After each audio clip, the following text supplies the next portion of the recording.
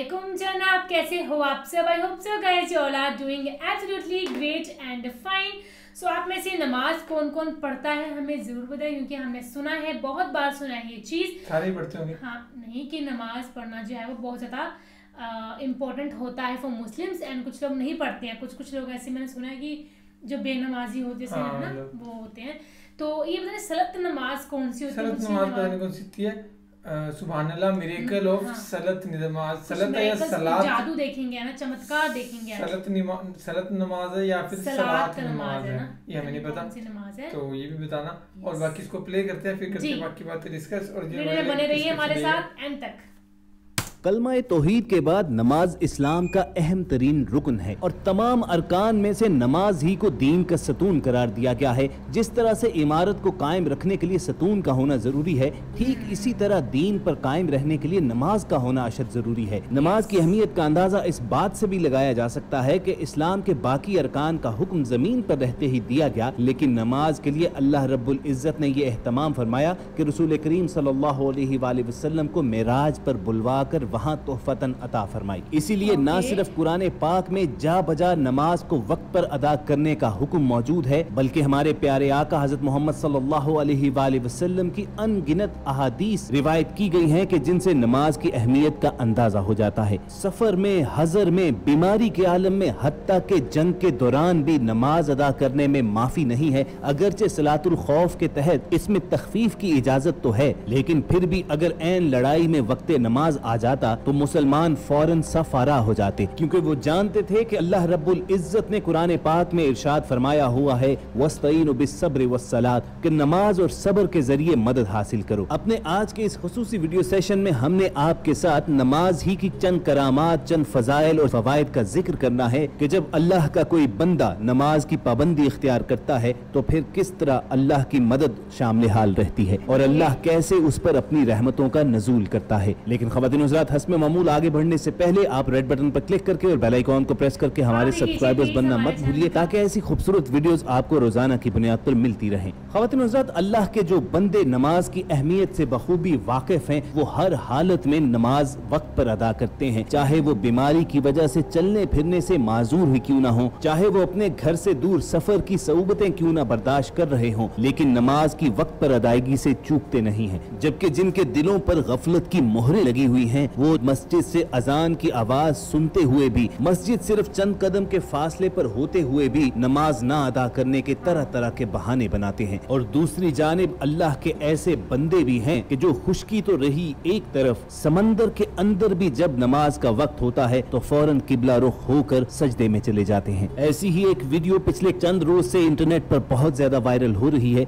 जिसमें एक बूढ़ा मछेरा अपनी कश्ती ही पर नमाज़ का फरीजा अदा कर रहा है। उसकी कश्ती जा रही है, उसका जाल पानी में है और वो इन सबसे बेनियाज अल्लाह की बारगाह में कयाम की हालत में खड़ा है और उसी के आगे रकू और सजदे में झुक रहा है। क्योंकि वो ये जानता है कि असल राजिक अल्लाह ताला की जात है। उसके रिस्क का बंदोबस्त वो जाते बारी ताला करती ही रहेगी। उसके लिए लाजिम है कि वो दिन में मुकर्र करदा औकात में अल्लाह की बारगाह में हाजिर हो जाए। फिर ऐसे ही लोग हैं कि जिन पर अल्लाह रब्बुल इज़्ज़त अनदेखी रहमतों का नजूल फरमाता है। नमाज़ की करामतों और इसके फवायद के हवाले से तो बेशुमार वाकयात रिकॉर्ड पर मौजूद हैं। पहले हम आपके साथ एक ऐसा फैक्ट शेयर करते हैं कि जिसे आज की जदीद मेडिकल साइंस भी मानती है। आज की जदीद साइंस इस्लामी इबादत और तालीमत के हवाले से एक शकूक व तो रखती है चुनाचे इनके जवाब ढूँढने के लिए जदीद मेंटल अप्रोच रखने वाले साइंसदान इस्लामी इबादत को तजर्बा गाह की जीनत बनाते रहते हैं और ऐसी ही एक चौंका देने वाली नमाज़ से मुतलिक तहकीक मलाइशिया में सामने आई। यूनिवर्सिटी ऑफ़ मलाइशिया के डिपार्टमेंट बराए बायोमेडिकल इंजीनियरिंग ने नमाज़ के इंसानी जहन और जिसम पर असरात का साइंसी मुताला किया तो नतज इस कदर शानदार और हैरान कन थे कि इस तहकीक को फौरी तौर पर बैन अवी शहरत याफ्ता साइंसी जरीदे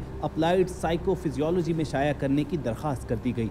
यूनिवर्सिटी की एक टीम ने सीनियर साइंसदान की क्यादत में एक तहकीक की, जिसमें नमाज़ में मसरूफ अफराद के दिमाग के फ्रंटल सेंट्रल टेम्परल प्राइटल और ऑक्सेप्टल नामी हिस्सों के साथ ईईजी मॉनिटर मुंसलिक किए गए और नमाज़ के मुख्तलिफ़ मराहल के दौरान यानी रकू सजूद और क्याम में दिमाग के अंदर मौजूद एनर्जी के सिग्नल्स का मुताल किया गया। तहकीक के नतज से मालूम हुआ कि नमाज़ के दौरान और खसूस सजदे के दौरान दिमाग में अल्फ़ा वेव एक्टिविटी में नुमाया इजाफा हो गया। अब सवाल ये पैदा होता है कि अल्फ़ा वेव एक्टिविटी है क्या? इन अल्फ़ा वेव्स की कसरत दिमाग के प्राइटल और ऑक्सेप्टल हिस्सों में नज़र आई, जो दिमाग के बालाई और अकबी हिस्सों में वाक़ होते हैं। साइंसदानों का कहना है कि बार बार के तजुर्बात के दौरान यही सूरत हाल सामने आती रही। अगरचा दीगर मराहल के दौरान अल्फ़ा वेव्स में नस्बता कम इजाफा होता था, लेकिन सजदे के दौरान इनके सिग्नल्स अरूज पर पहुँच जाते थे। खातिन हजरात अल्फ़ा वेव्स इंसानी दिमाग में सुकून इतमान और खुशी के जज्बात पैदा करती हैं। ये रोज़मर्रा ज़िंदगी की मुश्किल और तकलीफ़ों के शिकार दिमाग को पुरसकून करने और इंसानी तवज्जो और सलाहियतों को निखारने में भी अहम किरदार अदा करती हैं। और सजदे के दौरान दिमाग के इन हिस्सों में अल्फ़ा वेव्स का अखराज रसूल करीम सल्लल्लाहु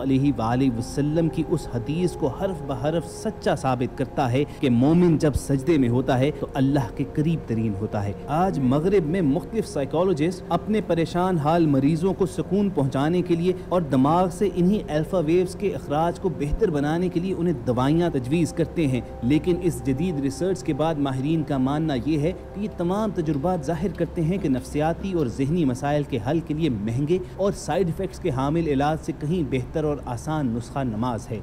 नमाज़ की करामात का अगर ज़िक्र किया जाए तो मलाइशिया में होने वाली इस तहकीक के बाद मलाइशिया ही के हमसाया मुल्क इंडोनेशिया में पेश आने वाला एक वाक़ आपके साथ शेयर करते हैं कि जिसके बाद आप पर नमाज़ की अहमियत, उसके फ़वाद उसकी फजीलत रोज़े रोशन की तरह आया हो जाएगी। दुनिया में सबसे बड़ा आबादी के लिहाज से मुल्क इंडोनेशिया है। ये मुल्क जजायर पर मुश्तमिल है और इर्द गिर्द समंदर होने की वजह से यहाँ की आबी हयात मशहूर है। दुनिया भर के टूरिस्ट यहाँ की समंदरी हयात देखने के लिए और डीप सी डाइविंग के लिए इंडोनेशिया आते हैं। इंडोनेशिया ही के साहिलों के पास एक ऐसा एरिया भी है जो दुनिया की खतरनाक तरीन शार्क्स की आमाजगाह है और वो लोग जो यहाँ पर डीप सी डाइविंग के लिए जाते हैं और इन शार्क्स को देखने के लिए खींचे चले आते हैं, उन्हें खसूसी पिंजरे में बिठा कर नीचे भेजा जाता है, क्योंकि ये खूनखार शार्क्स इंसानों को देख कर ही उन पर हमलावर हो सकती हैं। लेकिन कुछ अर्सा कबल, कुछ इंडोनेशियन मुसलमान स्विमिंग विद द शार्क नामी इस एडवेंचर के लिए यहाँ पर पहुँचे।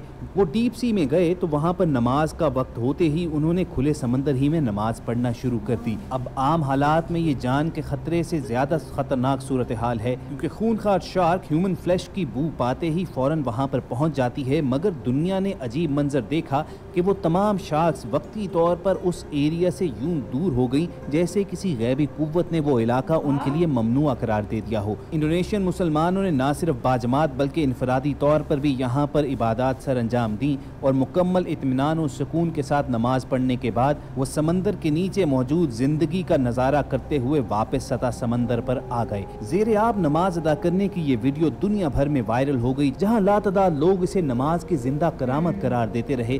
वहीं लोग इन पर तनकीद भी करते रहे कि इस अमल का स्टेटस नमूदो नमाज़ से ज़्यादा कुछ भी नहीं है क्योंकि दीन इस्लाम हरगिज इस बात की इजाज़त नहीं देता कि आप अपनी जान को खतरे में डालकर इबादत सर अंजाम दें। ये लोग डीप सी में जाने से पहले नमाज़ अदा कर सकते थे या फिर अपनी एक्टिविटी परफॉर्म करने के बाद सतह समंदर पर वापस आकर भी नमाज़ अदा कर सकते थे। तो दोस्तों आप कमेंट सेक्शन में हमारी रहनुमाई ज़रूर कीजिएगा कि आपकी नज़र में इन्होंने वेरी नाइस वीडियो और इस वीडियो से ना उन्होंने मतलब लोगों को नमाज़ की जो है ना वो एक अहमियत सिखाई है कि नमाज़ की क्या क्या अहमियत होती है हमारी ज़िंदगी में ना? सो हाँ। सो मतलब लोगों को ये समझ आना चाहिए कि अगर नमाज़ पढ़ने को बोला गया तो इस चीज़ को पढ़ो मतलब अपनी आँखों ने देखा हमने यार कैसे वो कश्ती में नमाज़ पढ़ रहे हैं उनकी कश्ती फिर भी चल रही है मतलब ऐसा कैसे हो सकता है ना? और दूसरी बात ये कि जो समुद्र के अंदर जाके हाँ, शार्क। डीप में जाके बिल्कुल नीचे जाके शार्क मतलब उनके पास से होके गुजर गई। मतलब हाँ। हैरान कर देने बात कर देने वाली बात है कि नमाज़ में सच्ची में पावर है ना? और जब डॉक्टर ने साइंटिस्ट ने भी चीज़ को माना कि जब लोग नमाज़ पढ़ते हैं तो उन्होंने उनके दिमाग का कुछ मतलब किया एक्सपेरिमेंट कुछ तो वहाँ पे एक अलग से एनर्जी उनको दिखाई दी है ना जब वो नमाज़ पढ़ रहे थे ना? तो वाह यार मतलब अमेजिंग अमेजिंग सही फैक्ट्स बताया so, बाकी मतलब बता देना हमें सलात नमाज़ का कि क्या मतलब हाँ, होता है इस चीज़ का। मैं क्या मेरे को तो ऐसा लग रहा है इसका मतलब ये होता है कि आप जब टाइम होता है नमाज़ का तो आप कहीं भी टाइम पढ़ते हो मतलब किसी और जगह पे पढ़ते हो या कुछ पता नहीं जो भी होगा प्रॉपर मीनिंग बता देना। हमें बताना इस चीज़ का मीनिंग बाकी तो फ़िलहाल इस वीडियो में guys thank you so much for watching the video मिलते हैं नेक्स्ट वीडियो